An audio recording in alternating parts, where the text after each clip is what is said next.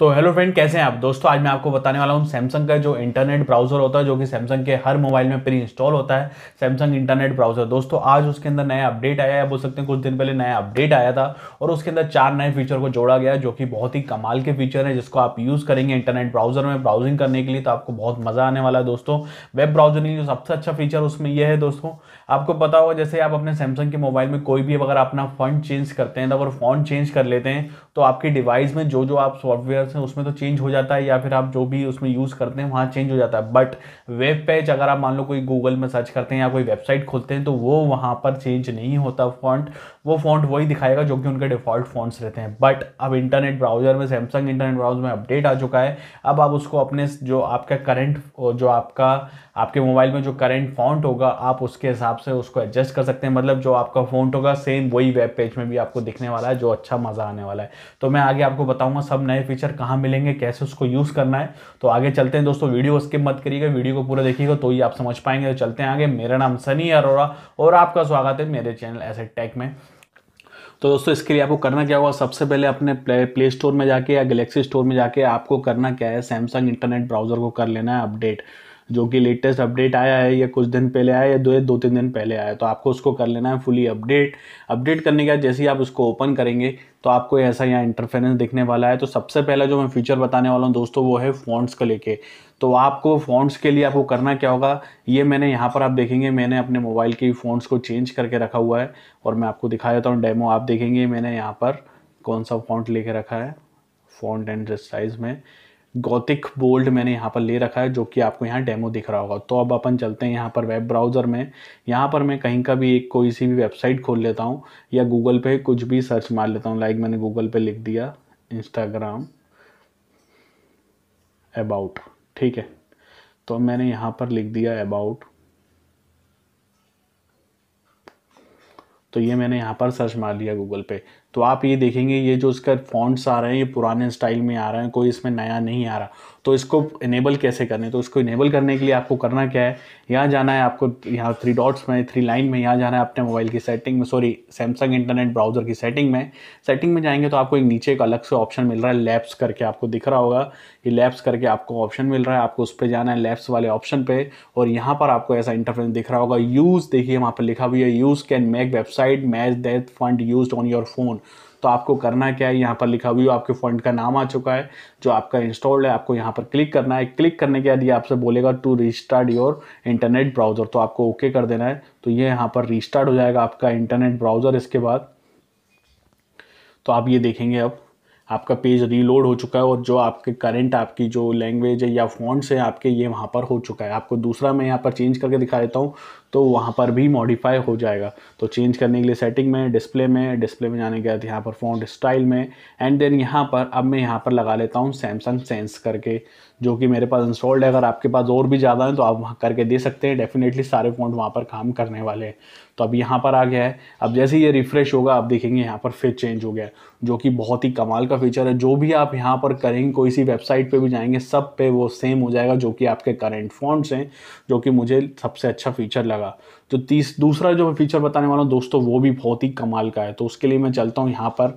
आप यहाँ पर कोई से यूट्यूब वीडियो पे जा सकते हैं, या कोई से भी जहाँ पर आप वीडियो प्ले करना चाहते हैं तो वहाँ जाकर अगर आप कोई वीडियो को, मैं पहले तो उसकी यहाँ पर क्या वॉल्यूम को कर देता हूँ कम, ताकि नोटिफिकेशन ना आए। तो मैंने यहाँ देख रहे हैं, अभी वीडियो प्ले हो रही है। तो यहाँ पर कहीं भी आप कहीं भी कोई वेब पेज पे वीडियो प्ले करेंगे तो आपको एक ऑप्शन दिखने वाला है यहाँ पर। ये यह तीन आपको दिख रहे थे। ये आपको जो तीन चीज़ें दिख रही हैं तो यो की बहुत ही कमाल का फीचर है। अगर आप देखेंगे, जो सबसे पहला फीचर है, अगर आप इसको ऑन करेंगे तो ये फुल स्क्रीन पे प्ले होने वाला है और यहाँ पर आपको ब्राउज़र की तरह या प्लेयर की तरह आपको यहाँ बटन मिलने वाले जो उसके बाद जो दूसरा ऑप्शन मिल रहा है ये आपको कहाँ भी वीडियो प्ले होंगी, वेब पेज पे ये वहाँ पर आपको मिल जाएगा। और यहाँ पर जाएँगे तो ये सीधा आपको शेयर करने के लिए बोल देगा, जहाँ पर भी आपको अपने डिवाइस में स्मार्ट व्यू के शेयर कर सकते हैं। और जो तीसरा वाला है, वो भी बहुत ही कमाल का फीचर है इसी के अंदर, ये यहाँ पर। आपको दिख रहा होगा। अब यहाँ पर आपको पॉपअप व्यू में आ जाएगा और आप अपना कुछ भी काम कर सकते हो और ये वीडियो यहाँ पर प्ले होती रहेगी। जो भी आपने प्ले करा, ये यहाँ पर प्ले होता रहेगा। आप कुछ भी यहाँ पर दूसरा ब्राउजिंग कर सकते हैं, जो कि बहुत ही कमाल का फीचर है। वेब ब्राउज़र में आप इसका यूज़ कर सकते हैं। तो ये वाला जो ऑप्शन है, हर वहाँ पर चलेगा, जहाँ पर विज वेब पेज पर वीडियोज़ की होंगी। तो मैंने यूट्यूब इसलिए नहीं खोला क्योंकि मैं अपनी वीडियो प्ले नहीं कर सकता। इसलिए मैंने इंस्टाग्राम की वीडियो प्ले करके दिखागा बट ये कहीं भी यूज़ कर सकते हैं, अपने यूट्यूब में या कहीं भी आप इसका यूज़ कर सकते हैं। तो उसको इनेबल करने के लिए आपको जाना है यहाँ थ्री लाइन्स में। थ्री लाइन्स में जाने के बाद आपको जाना है यहाँ सेटिंग में। सेटिंग में जाने के बाद आपको यहाँ पर मिल रहा है यूज़फुल फीचर पे। यूज़फुल फीचर पे जाएँगे तो सबसे आप देखेंगे सेकंड नंबर पे आपको ऑप्शन मिल रहा है वीडियो असिस्टेंट आप उस पर क्लिक करेंगे तो आपको वहाँ पर दिख जाएगा वीडियो असिस्टेंट क्या है। और ये चार आता है किसी किसी में तीन दिखते हैं और किसी किसी में चार दिखते हैं। आपको दिख भी रहा होगा क्या इसकी यूजेस हैं और कैसे आपको यूज़ करना है। तो आपको इसको इनेबल करके रख लेना है तो ये आपको मिल जाएगा। बहुत ही कमाल का फीचर है। उसके बाद जो तीसरा बताने वाला हूँ दोस्तों, वो भी बहुत ही कमाल का फीचर है, वो है सिक्योरिटी के लेके। तो उसके लिए आपको जाना है यहाँ सेटिंग में इंटरनेट ब्राउज़र की और यहाँ पर आपको मिल रहा है प्राइवेसी एंड सिक्योरिटी का ऑप्शन आप यहाँ पर जाएँगे तो आप ये देखेंगे मेरा यहाँ पर बेसिक सिक्योर्ड सिक्योर्ड रिकमेंडेड है। तो ये पूरा सिक्योर्ड नहीं है तो ये सिक्योरिटी की पर्पज़ से दे रखा है। यहाँ पर आप जितने भी आपको पॉपअप मिल रहे हैं, आपको सबको इनेबल कर लेना है। और यहाँ पर मैंने इसको नेवर कर रखा है मैं इसको कर दूँगा ऑलवेज तो ऑलवेज करने के बाद आप देखेंगे मेरी सिक्योरिटी हंड्रेड परसेंट हो चुकी है। तो ये आपको अगर यहाँ से कोई भी आपका अगर ब्लॉक ख़त्म है तो आपको सबको इसको इनेबल कर देना है। तो उसमें आपकी सिक्योरिटी बनी रहेगी। और ये आपको देख रहे हैं क्या क्या सिक्योरिटी रहेगी। Block backward redirection block popups block app मतलब पॉपअप जो आपने देखा हुआ एडवर्टाइजमेंट आती है किसी किसी वेबसाइट्स पे तो ये सबको ब्लॉक कर देता है और नीचे की तरफ़ आएँगे यहाँ पर। ऑलरेडी ये कितने सारे ब्लॉक करके रखे हैं तो यहाँ सब बता देता जो कि बहुत ही कमाल अगर आपने बहुत सारी वेबसाइट खोली होंगी तो आपको बता भी रहा होगा कि आपने इतने यहाँ पर पहले से हटा के रखे हुए हैं, जो कि बहुत ही कमाल के फीचर है। सिक्योरिटी के रियाल से देखा जाएगा, जैसे यहाँ पर जाएँगे या नेवर पर जाएँगे तो आपको दिख भी रहा होगा, आपने इतने सारे यहाँ पर यूज़ करे हुए हैं।